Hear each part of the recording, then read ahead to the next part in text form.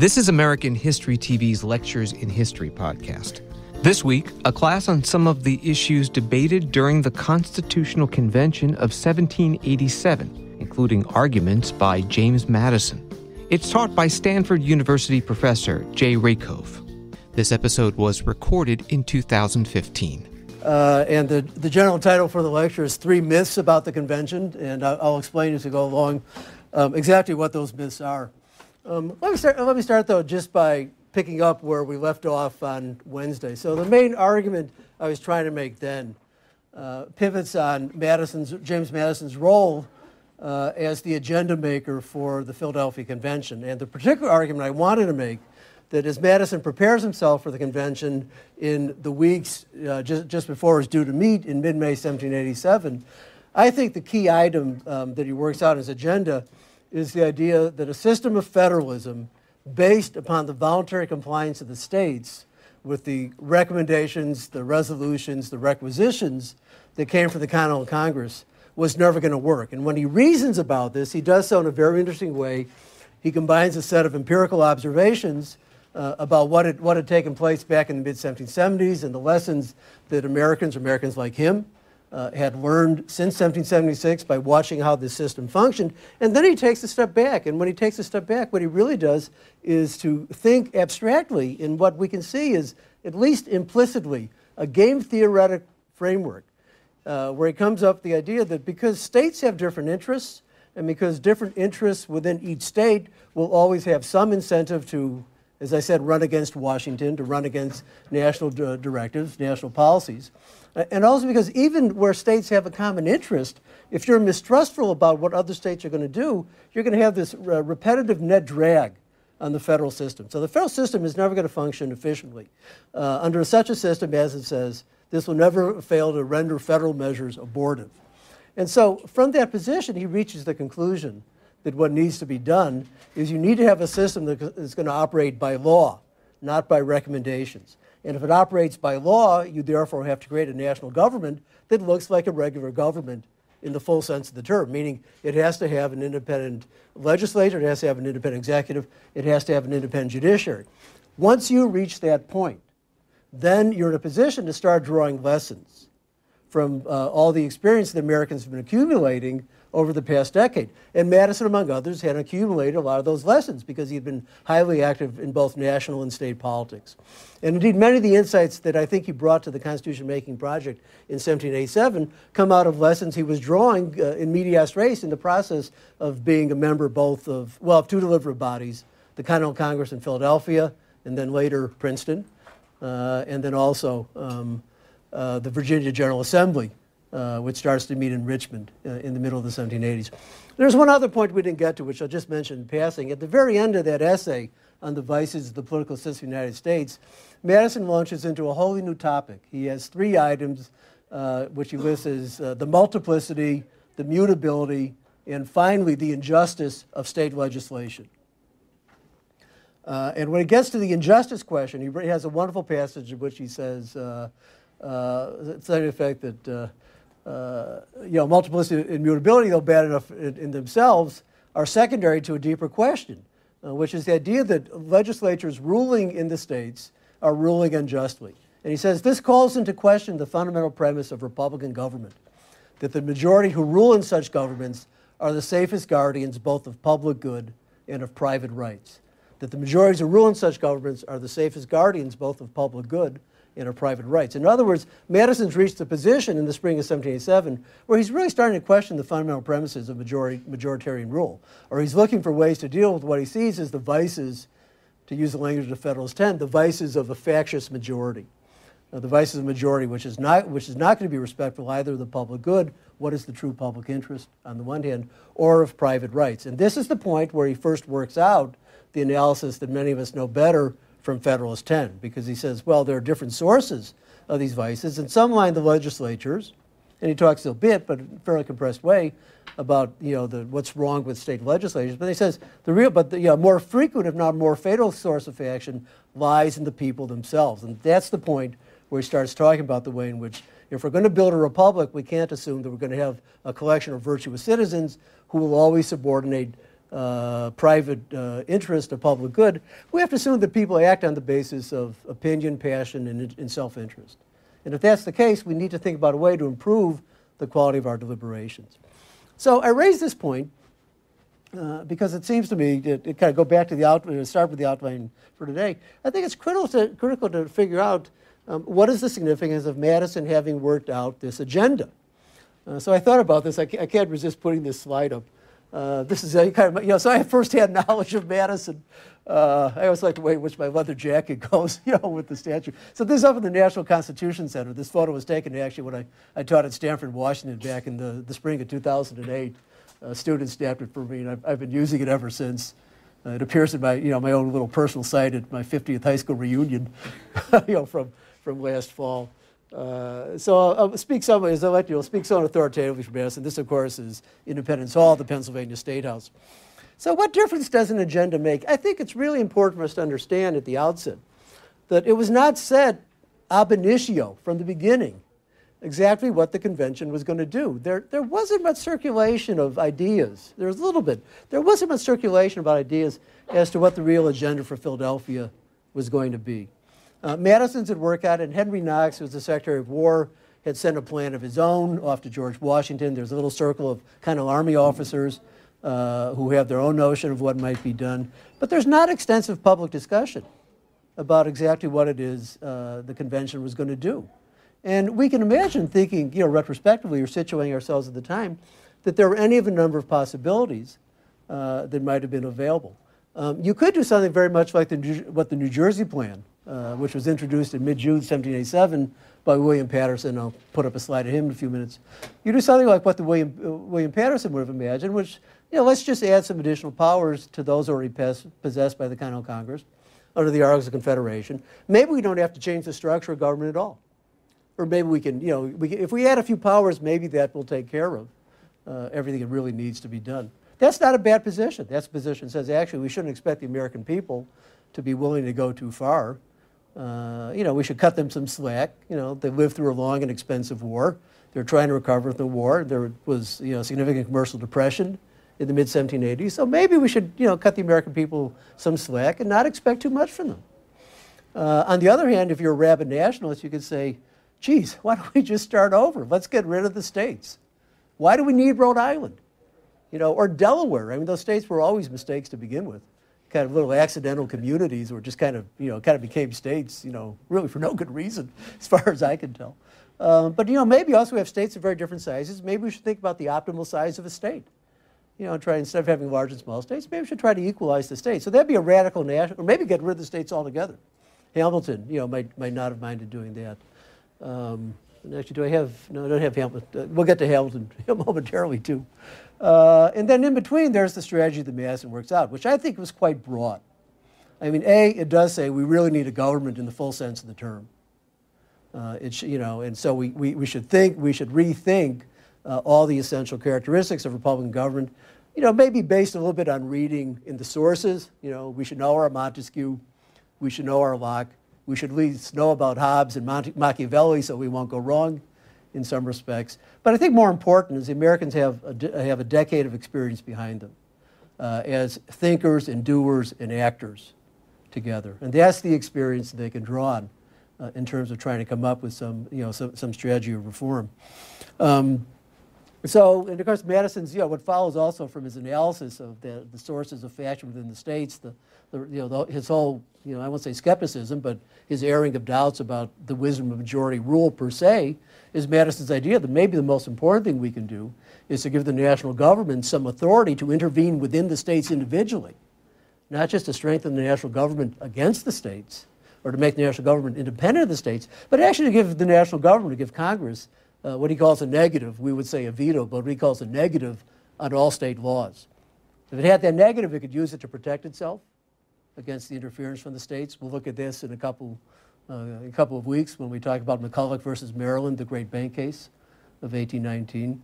But maybe we could also use that power to intervene within the states to protect minorities within the states against the unjust legislation being passed by majorities. This is a really expansive agenda.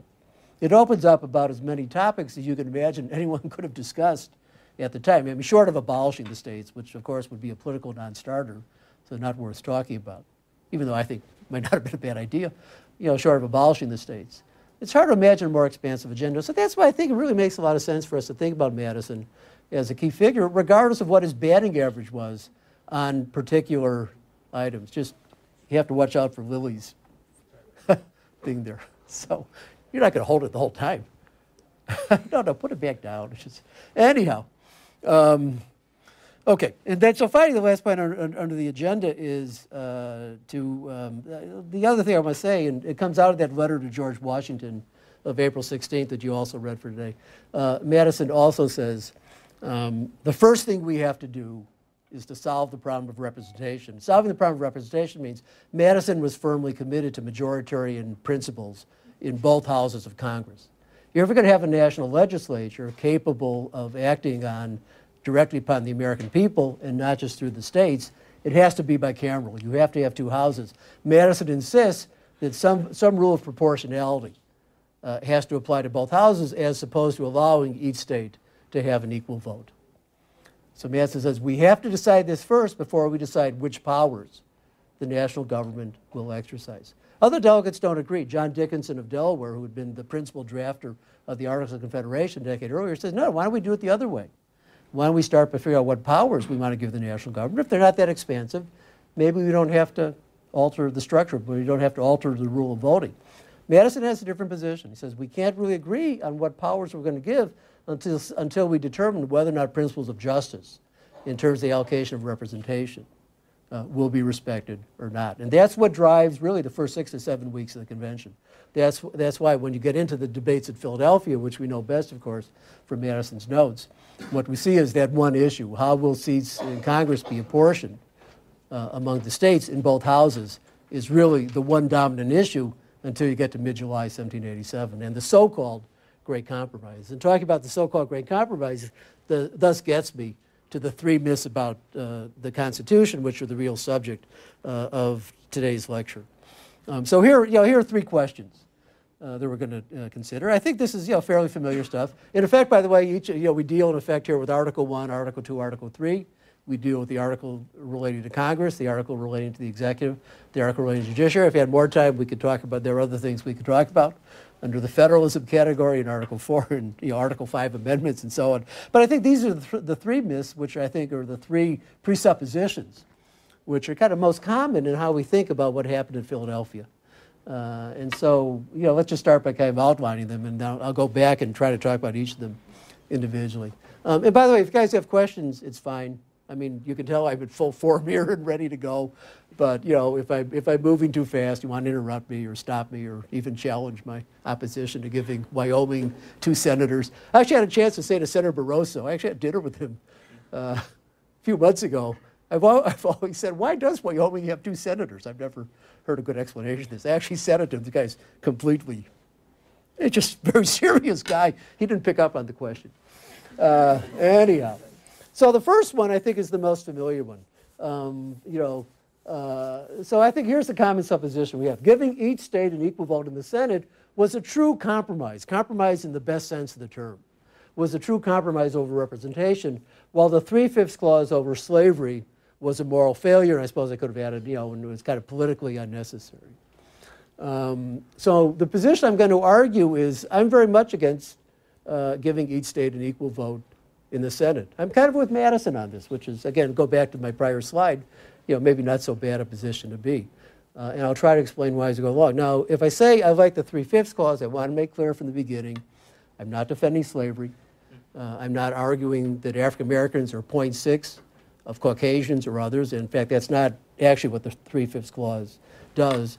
Um, what I am saying is that there, it seems to me, that there are very real, there very significant, is a very significant basis for understanding that there a much deeper compromise was, a uh, deeper in the sense of longer lasting compromise was meant to be incorporated in the three-fifths clause than was true in the case of the equal state vote. And I'll explain why as we go along. Again, I'm not defending slavery, you know, lest there be any misunderstanding here. But I think in political terms, the case for the three-fifths clause is in some ways much better than the case for the equal state vote, and I want to try to explain why I think that. Um, the second position, that's fairly straightforward. Uh, there's a common supposition that why do we have the electoral college? Is because the framers feared democracy. They were, you know, very skeptical and nervous about allowing the people to vote uh, for the president. I think that's wrong, and I'll try to explain you know, how I think we got stuck um, with the strange device, of the electoral college, which as soon as it goes into operation in a significant way in 1796 was already obsolete under, you know, under some suppositions. The first time it really makes a difference, you realize it's never going to act in any way resembling what people thought it, you know, it, it, might do if you think it was really designed to get a better class of uh, select group of electors to, to choose the president. And the third thing is a point that should be familiar to anybody who's thinking about going to law school. Uh, the judicial review of legislation, the idea that courts should apply constitutional standards to legislation in order to determine whether or not acts of legislation are constitutionally permissible or not. Uh, it, you know, so there is a common supposition that that really was not part of the framers' design, or was only a vague part, if a part at all, the framers' design, but really came into being uh, out of John Marshall's great opinion in the famous case of uh, McCulloch versus, uh, not McCulloch, Marbury versus Madison from 1803. Um, I think that's bunk.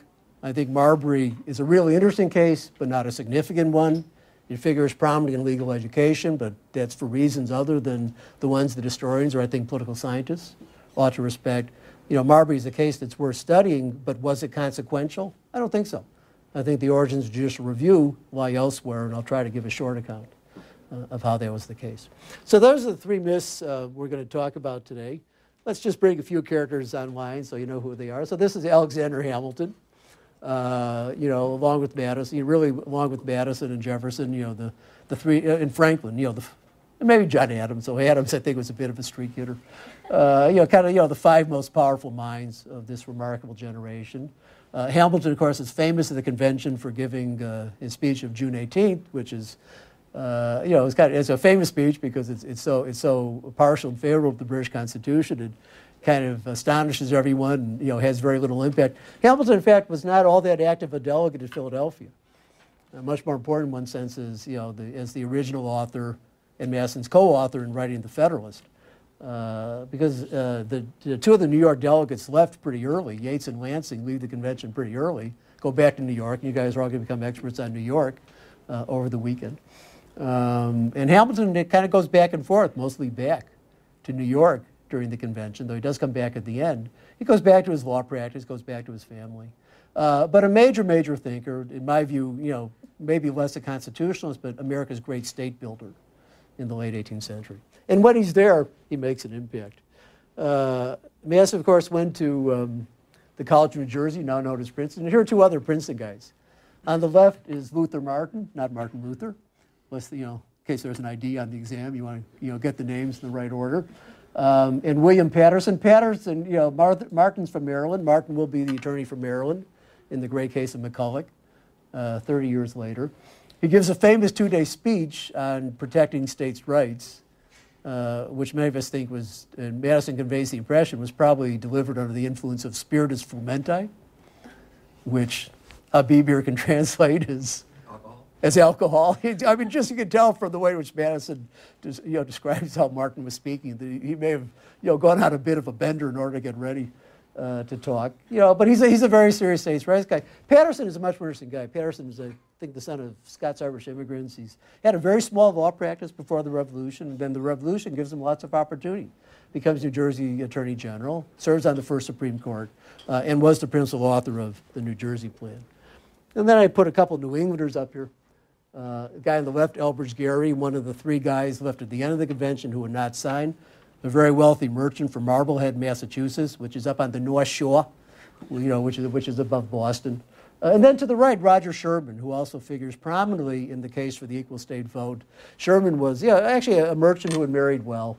He can't quite make it out here, but he, he had, Sherman, had a, Sherman had a kind of awkwardness to him. If you see how he's sitting in this chair, he can't relax for the, you know, for the portraits. He's kind of he's still kind of sitting there in a kind of half, you know, half-wired way. Just can't quite unwind uh, to allow his portrait to be painted. But you know, Sherman and William Samuel Johnson, his, his colleague, play a very active role in terms of supporting the equal state vote.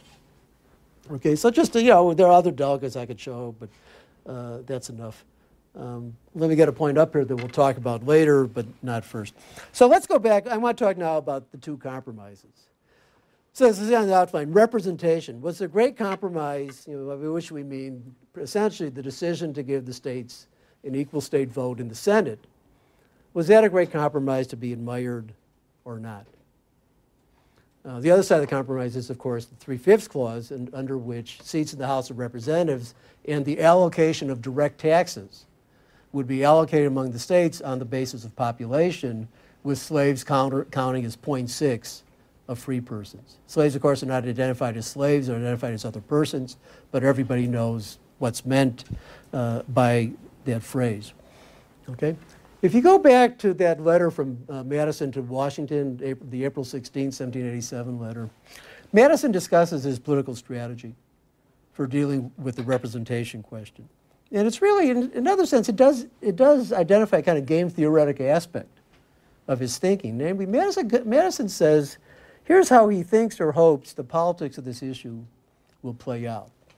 He thinks the northern states will favor the idea of proportional representation in both houses uh, because they have, they, they have the population advantage now. Um, so it's in their current interest. But he also imagines, as other people did in the 1780s, this turns out to be a big mistake, but Madison is not unique in imagining this.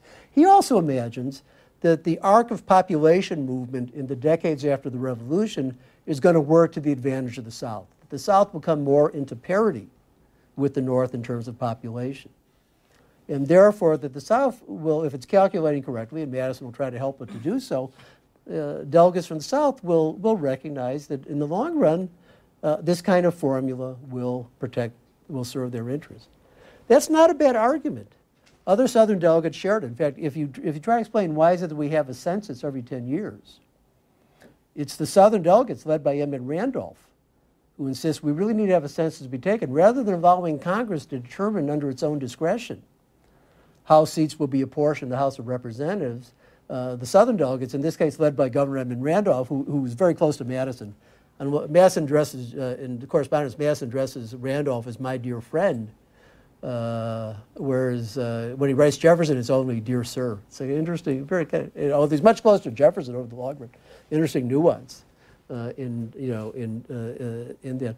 So uh, if you think you're the minority region, but it's going to work for you in the long run, you want to make sure a rule of representation and an explicit provision to have that rule honored, you know, as population shifts over time will be provided for in the Constitution, rather than leaving the discretion of Congress to use or potentially abuse in the interest of existing majorities.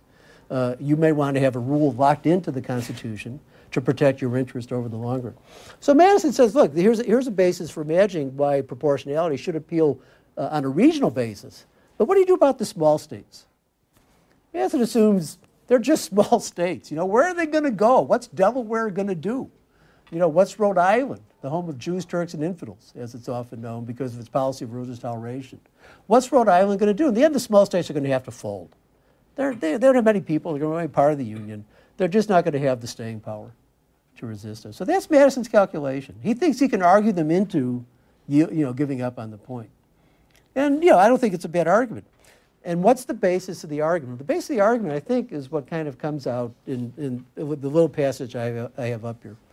Um, Again, if we went back to the vices of the political system, that last item, uh, or if, we, if you guys remember the basic argument of Federalist 10, you know, Madison is famous for arguing what is the, ba- what is the real basis of political affiliation, or political orientation in our society. We want to identify what are the real interests, opinions, and passions that swirl through the body politic. What is it that makes us act politically, whether we're voters or whether we're officials? Uh, and the basic argument is, you know, we have to identify what are our real interests, opinions, and passions. We, You know, what, you know, is it, you know, do we identify ourselves on the basis of, you know, it might be, we might say a, a kind of ethno-cultural identity. Could be occupation. It could be residence, the kind of community, and I want to stress community, not the kind of state, but the kind of community in which you live. It could be, you know, a lot of, you know, a lot of political affiliations follow what we call ethno-cultural religious lines. You know, Jews and African Americans vote highly Democratic.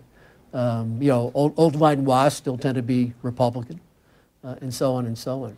What Madison does want to argue, and I think he's correct on this, uh, and that's, I think, a big basis of his argument, is that the size of a state in which you live is politically irrelevant except under one condition.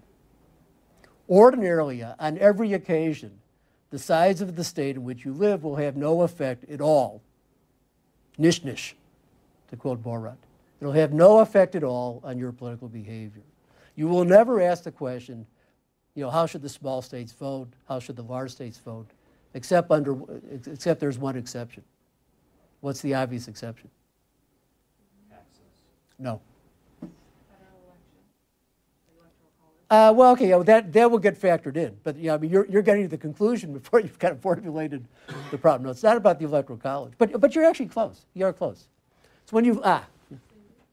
Uh, no, that's, that's going to be the opposition. That has nothing to do with the size of a state. Look, the, the question, look, if you're, you know, if you're, let me take a step back. If you're having an argument about whether or not small states deserve to be overrepresented just because they're small, Madison's argument would be Small states do not deserve representation per se because size is not correlated in any way with their interests.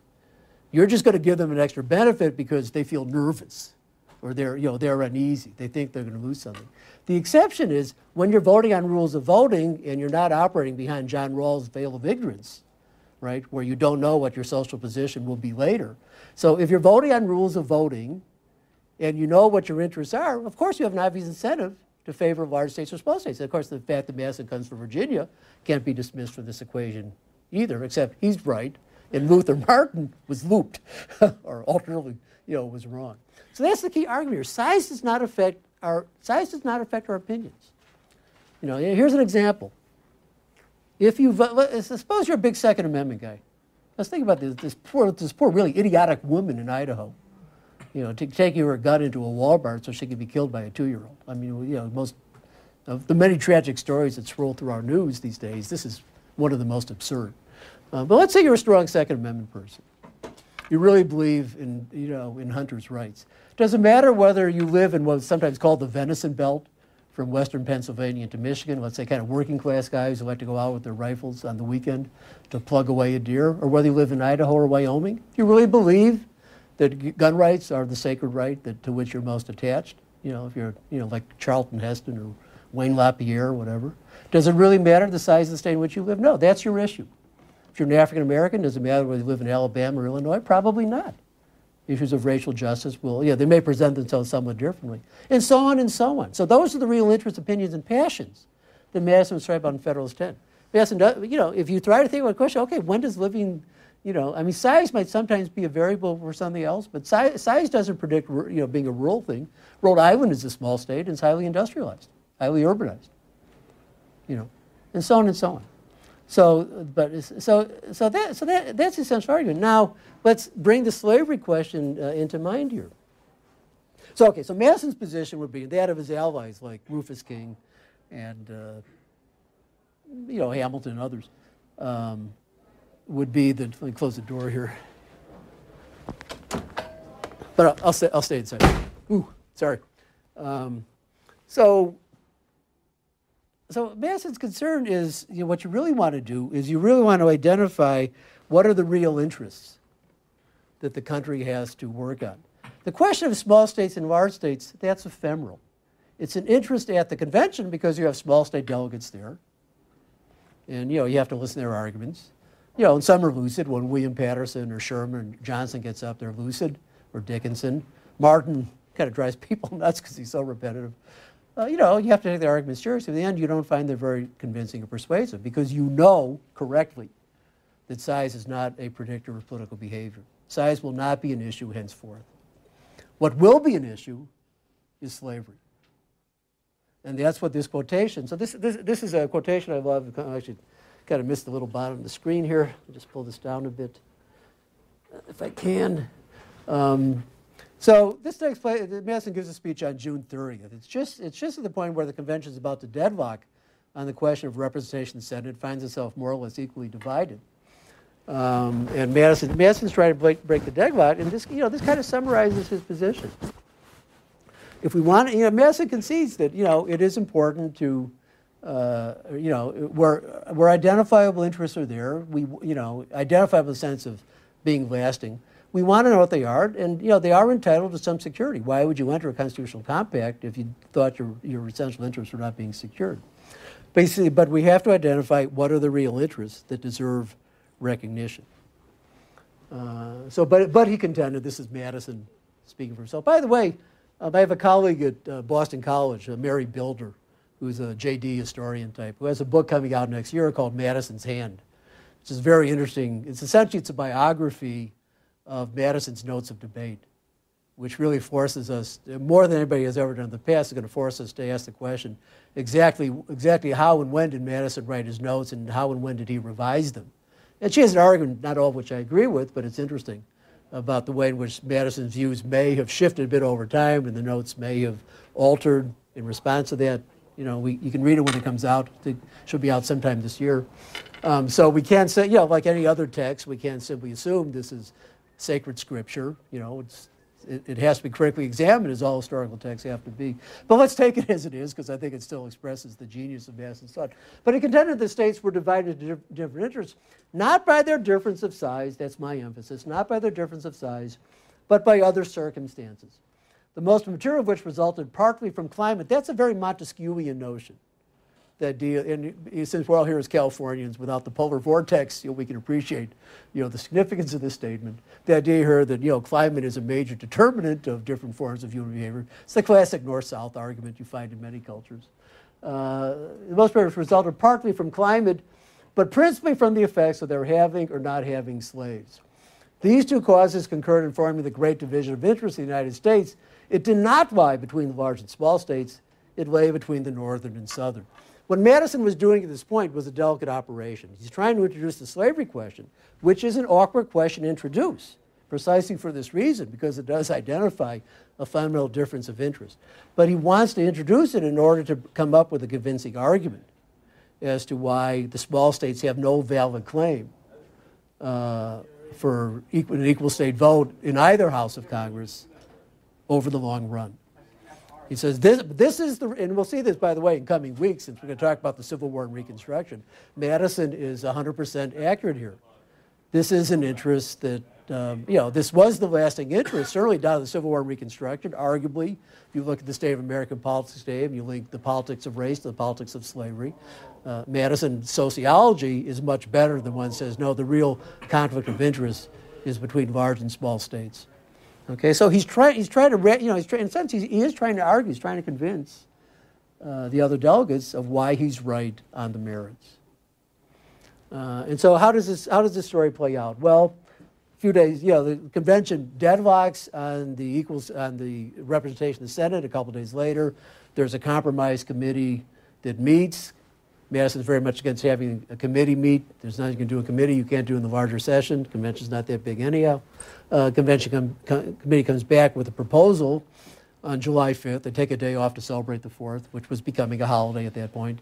Um, and then at that point, the convention does agree, you know, in matter a few days, kind of, I think July 7th and 9th, they kind of worked their way through the, uh, you know, the three-fifths clause. I mean, essentially the outcome of this is that, you know, to accept the three-fifths clause for the House of Representatives.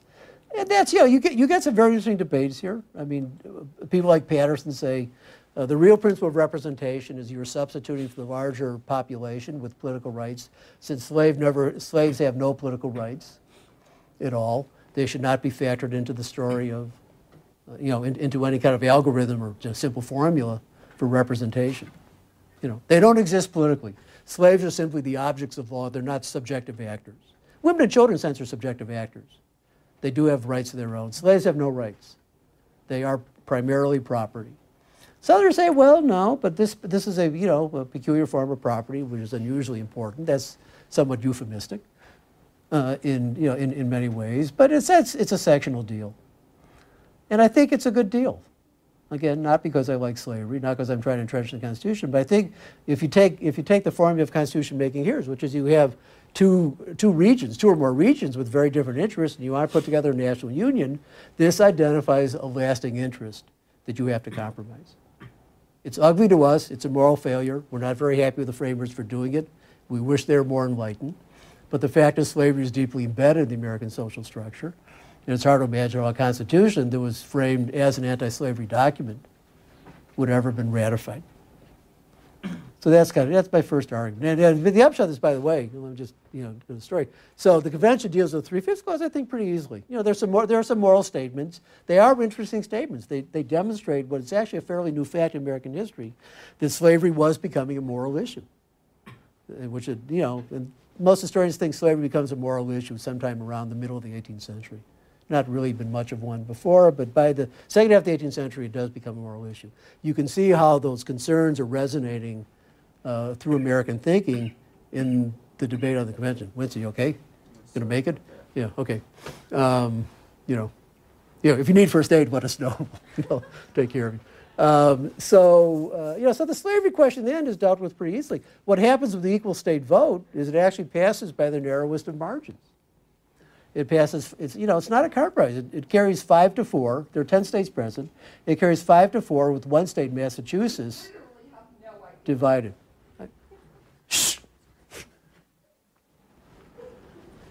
Okay, sorry about that. Um, so, you know, passes five to four, you know, with one state, Massachusetts, which of course is one of the three most populous states, divided. Massachusetts is divided because Elbridge Gerry, who, you know, I put up earlier, the guy from, you know, up on the North Shore from Marblehead. Uh, Gerry, I think, was the first genuine maverick in American history. So Gerry and uh, one of his psychics, they split the Massachusetts delegation. Then what happens over time, you see what the Electoral College is, ex post, retrospectively, we start calling that decision a compromise. But that's meant more to justify it to the public than to describe what actually happened. Madison, one side won, the other side lost. And that's why Wyoming, for better or for worse, and Idaho have two senators, and those of us who live in 35, you know, California with its 37 or 40 million people, I remember we have now, we have two too. It's like the famous line in, in Arsène Lace, the movie you guys probably don't know. The old lady, you know this one? The old ladies are just as good as you. They got 12 and you got 12. My favorite movie as a kid. Anyhow, yes, Cary Grant, uh, whose daughter actually once took, you know, my lecture class here. It actually babysat for us a long time ago. Anyhow, so that's that's myth number one. I like, you know, I like the three-fifths clause, not because I like slavery, but in terms of what, what it says about the politics of constitution making. Secondly, prom or presidential selection. Let's get the big guy up here. You could tell from when I put, you know, I stood next to Madison, and neither, you know, both of us would play the one or the two if we went, if we were on the court. Washington, you could post up. You know, he's probably more mobile than Nastic is. Anyhow, I don't know, know how much of a leaper he is, but in any case, Washington's the big guy, 6'3", 6'4". He would tower over 98% of his soldiers, many of whom were 5 foot 4, more Madison size. Uh, so there's a standing story about the presidency that was created in Washington's image. That's not true uh, is not true at all. Um, the framers went round and round on the presidency. Uh, and they make the critical decisions only with about, you know, in the last week and a half before the con- convention was to adjourn. They did so under conditions of profound uncertainty. Uh, and let me try to explain why that was the case. I'll try to do this in seven minutes and save five minutes for the judiciary. And then we'll wrap it up. So, for starters, I think the first thing to realize is that this was the one area of power where they really had to improvise uh, or be creative the most. And why, as I say in the outline, there is no adequate model or precedent for a national Republican executive. The whole idea of executive power in the 18th century is so very much wrapped up either in the idea of monarchical government, which the Americans have clearly rejected, or of ministerial government, the kind that flourishes in Great Britain, which Americans had also renounced because a, big part of their political convictions going into the decision for independence back in 1776 was that the British Constitution was being corrupted by a ministry that was really kind of a power-seeking clique uh, of, ag- of aggressive office holders. So there's no real precedent for what a national Republican executive would look like. You, know, you, really, you really did have to make it up. You really had to think creatively about how you would constitute this office. The dominant image is monarchy. That's not going to work very well in a Republican society. Now, the framers did reach two decisions pretty quickly, which indicated how they were starting to react, however, against the Republican enthusiasms of 1776. They agreed within the first week of debate Um, they agree that the executive power should be vested in a single person. It won't be a collective executive. And as the first sentence of Article 2 says, and we'll talk a bit about this uh, down the road, the executive power shall be vested in the President of the United States. It's a significant statement. There, there was a plural executive in Pennsylvania. You know, you could have think of something more collective, but the idea that the executive official should be, you know, the executive power resides ultimately in a single figure who is the decision maker. That's a pretty significant step in and of itself. And secondly, the framers agree that the executive should have a limited negative, a veto, over national laws. That restores what we call prerogative. It's one of the key prerogative powers of the British Crown. It hadn't been used in Britain since 1707. The veto had disappeared. There was actually this young guy at Harvard named Eric Nelson was just interested, uh, in a really interesting, although I think very problematic book on this whole subject, which argues there is a group of what he calls patriot royalists who actually like 17th century Stuart notions of monarchy. He has some good arguments. I, the ultimate argument I find deeply unconvincing, but you know, it's an interesting way to think about this.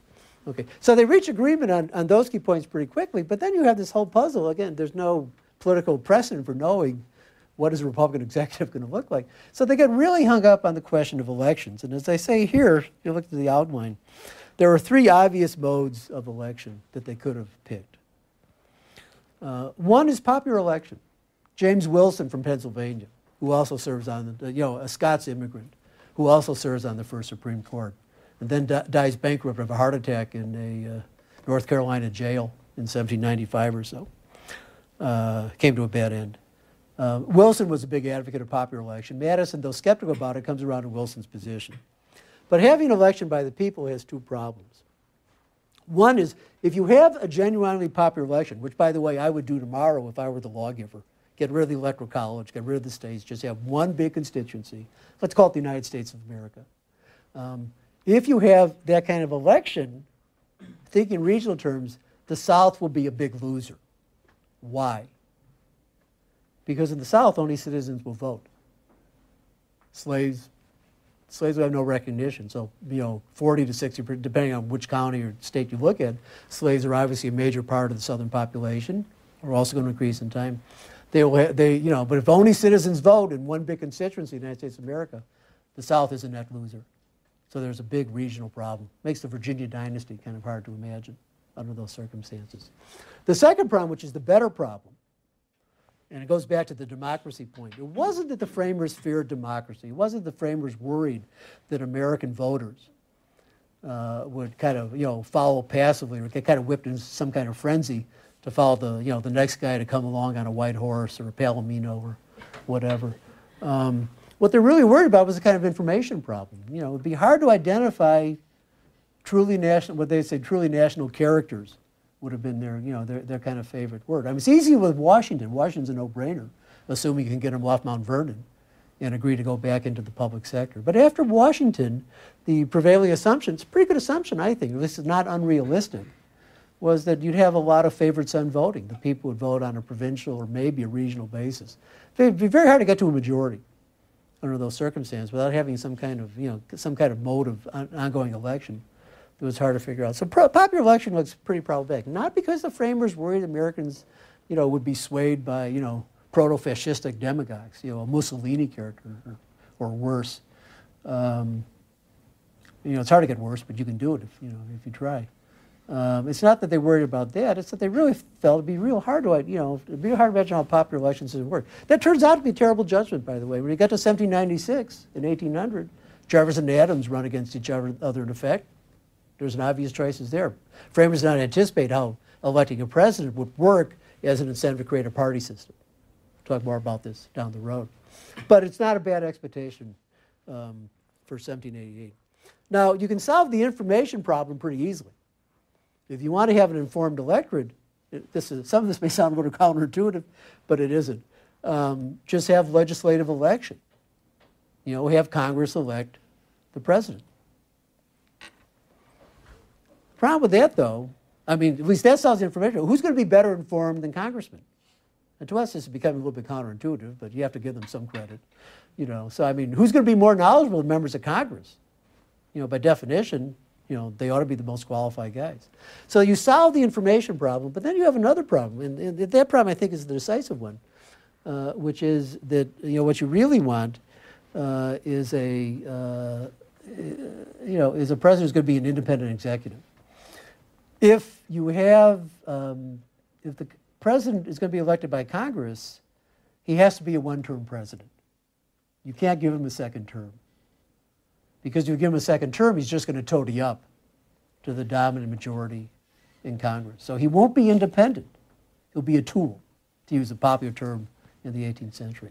And some people, here, here actually Hamilton is in some ways the most interesting example here. Some people understand, I think correctly, that ambition was, you know, was something you wanted, you know, the right kind of ambition was something you wanted to spur. If you put a president, you know, make him in charge of the whole government and give him political credit for what he does, that's going to encourage all the best motives for good governance. Anti-federalists don't agree because they worry a lot about tyrants and, and, despots and the like. We'll talk about that next week and see, see how you guys want to argue about this uh, in your capacity as delegates. But I think that's the decisive, that was the decisive consideration. Wasn't the framers feared democracy? So we get stuck with the electoral college. So the, the argument here is that the two other modes of dissent, uh, excuse me, two other modes of election, you know, two obvious modes of election, popular election, which actually could have worked quite well from 1796 on, uh, or election by Congress, which could have worked well at any time, but carries with it. Both of them are subject to what appear to be killer objections. And the Electoral College is left as kind of the default mechanism. Uh, it has one obvious advantage. By the time it's adopted in the week of uh, September 4th to 8th, so it's you know, convention adjourns on September 17th. So just you know the you know week and a half before the convention adjourns. Uh, what you know what you know by that time the framers have worked their way around the idea Constitution is going to go to the people. We want to present this, as, it's in our interest to present this as a compromise. So that's why you see the structure of the Electoral College. The large states get the advantage in round one. If you can't produce a majority for electors in terms of you know how electors vote, they all have to vote on the same day. Then it goes, originally it was going to go to the Senate. But since the Senate was linked to the president, the appointments power and the treaty power, it takes the convention three days to figure this out, but then you allow the House to vote as if it were the Senate voting by states. So you replicate the, the you replicate the political compromises that went into the formula for constituting Congress. And you solve the separation of powers question because the president can run for reelection. And an incumbent president, you know, will, will, will be in a somewhat different situation than a newcomer. Who were the electors going to be? Nobody had a clue. Nobody had any idea you know, who they would be, how they would deliberate, what knowledge they would have. It's just, you know, it's, it's kind of an empty placeholder. George Mason says they might be men, uh, not even the second or even the third ability. I've actually met an elector or two, but if you ever meet an elector in your life, see, you know, see if it makes any difference in your political perceptions. So that's my second point. The third point I want to deal with quite quickly just has to do with Marbury. And I have about, we started a minute or two late, so guys, uh, 1048. So Give me about three minutes and we'll try to wrap this up pretty quickly. Um, but so here, here's a great place to start. A famous quotation from Alexander Bickel, uh, whose book, The Least Dangerous Branch, uh, kind of one of probably the, the greatest work of modern American constitutional theory, even though it's half a century old. Congress was created nearly full blown by the Constitution itself. The vast possibilities of the presidency were, were relatively easy to perceive. I'm not so sure about that. Uh, and soon inevitably materialized. That is correct. But the institution of judiciary needed to be summoned up out of the constitutional vapors, shaped and maintained. And the great Chief Justice, John Marshall, not single handed, but first and foremost, was there to do it and did. If any social process can be said to have been done at a given time and by a given act, it is Marshall's achievement. The time was 1803. The act was the decision in the case of Marbury versus Madison. So that's the heroic lore that's taught in the law school. So there actually a lot of my buddies in common law don't like to teach us anymore. I mean, I think they're, they're Marbury nihilists or Marbury skeptics uh, the way I am. Um, but again, let me try to briefly offer an alternative account here. Very, pretty simple account. It'll be Madisonian. one of Madison's key proposals, as I said the other day, in addition to the negative on state laws and proportional representation and so on, one of Madison's key proposals is the idea of following an example in the New York State Constitution and having a council revision which would be a joint executive judicial council, which would possess a limited negative, a limited veto over legislation. Why did Madison like this idea? Because Madison, as I said previously, Madison was first and foremost a legislator. I mean, all his experience had been in, in, in activities of collective deliberation, whether in the Continental Congress or in the Virginia Assembly. And Madison, particularly by 1787, was deeply, deeply mistrustful of the quality of legislative deliberation. He's actively looking for ways to improve it and to enhance it. And so he, if he's skeptical about it, what he wants to do, he thinks the key thing will be to try to improve the quality of legislative deliberation ex ante. It's much better to have statutes that are better drafted at the beginning than to have to deal with poorly drafted statutes later on. It's much better, in others, to improve the quality of lawmaking before a statute takes effect than to deal with its consequences later when it has to be litigated out to be, you know, to be, be to for its enforcement be made more sensible. So Madison sees a kind of trade-off here.